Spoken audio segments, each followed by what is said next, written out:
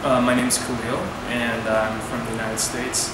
I grew up in Northern Virginia, and um, I'm a college student in my last year of school.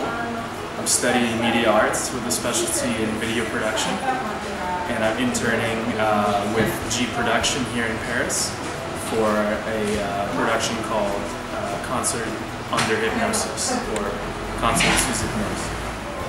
So tell us about your internship and what are you learning from it? Yeah, so uh, a part of my studies in Ohio, uh, I'm supposed to find an internship every six months for a three month period. And um, I got in touch with uh, Aquarius, who offered me uh, an internship in Paris, working with a music producer, uh, helping to develop his uh, current production called Concert Under Hypnosis. And um, so my first week on the job, I was introduced to the team and the musicians, and um, I helped uh, distribute flyers to promote the show.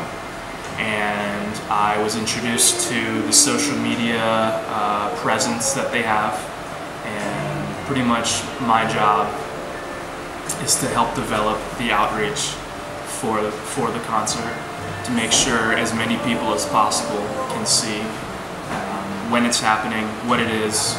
So pretty much I'm involved with the marketing of this spectacle. So some advice I would give future participants in any uh, internship abroad. First of all, um, don't settle.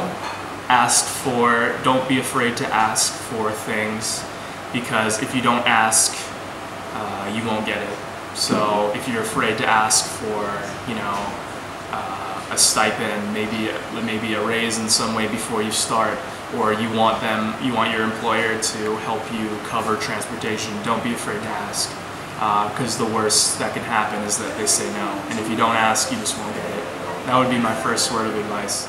Don't uh, let go of your ego and open yourself up, because the more the more honest and the more open you are with the people you encounter, the more opportunities you'll have, the, the stronger relationships you'll find, and you'll just have a better, you'll have a more genuine experience.